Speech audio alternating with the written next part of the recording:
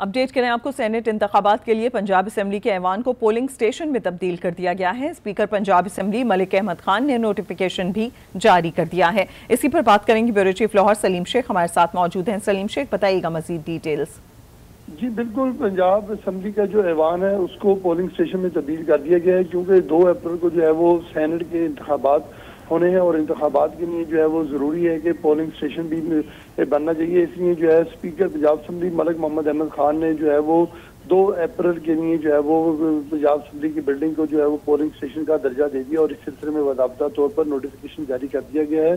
दो अप्रैल को सुबह नौ से चार बजे तक जो है वो पोलिंग होगी। इस सिलसिले में जो है बाबा तौर पर नोटिफिकेशन जारी किया गया है। सलीम शेख, बहुत शुक्रिया अपडेट करने के लिए।